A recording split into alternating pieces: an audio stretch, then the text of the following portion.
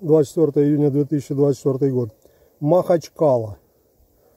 Так я стал называть город Махачкала после того эпизода, когда исламисты, мусульмане, не знаю, кто там искал евреев в двигателях самолетов. Помните, да, когда это был эпизод? Сейчас все пошло даже круче. Сейчас уже перерезают горло православному священнику. Дербент, Махачкала. Махачкала. Итак, у нас Крокус, да, это в течение трех месяцев, если я не ошибаюсь, да.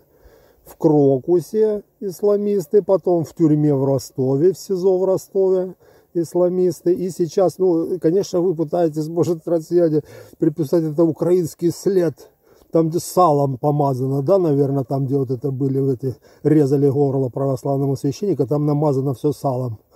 И галушки кругом раскиданы. Не, ну там, кстати, по-моему, говорят, что какой-то племянник э, ну, там, э, главы районой или что-то такое, этого Дербента, Махачкалы. Так что украинский след будет тяжело найти. Ну, в общем-то, ребята, я вас поздравляю. Как и было заявлено, с Кавказа все началось, с Кавказом все закончится. С Чечни там, ну, с Чечни там, ну там Чечня, Дагестан, я так понимаю, одного поля ягоды. Пос... Посмотрим, посмотрим.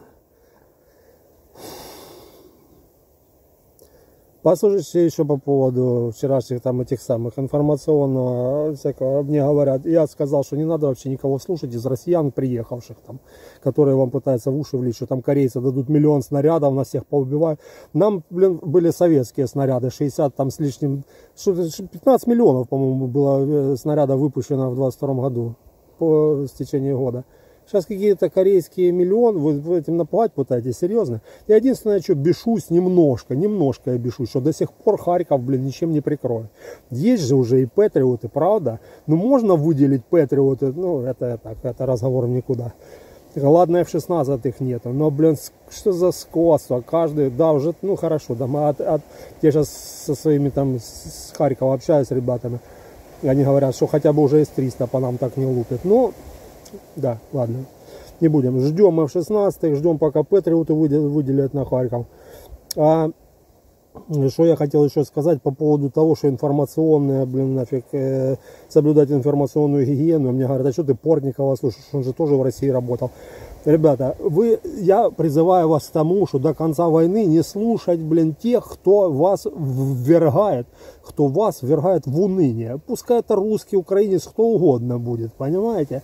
Мы сейчас как та лягушка, которая пытается сбивать э, молоко, чтобы пока оно в масло не собьется, чтобы потом выпрыгнуть из кувшина не утонуть любой, кто в этот момент вам говорит о том, что брось, все пропало, корейцы дают снарядов 5 миллиардов, блин, у россиян атомное оружие, там Россия никогда не... Это они еще не хотели начинать. Блин, здесь, кстати, уже пропали эти разговоры. Мне с 14 сраного года говорят.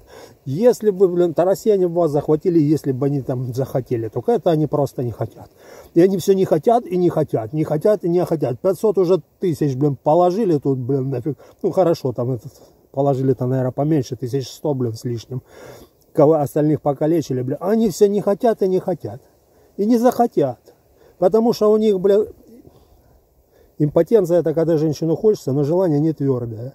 Россия это страна импотент. И мы их всех перебьем. Понятно?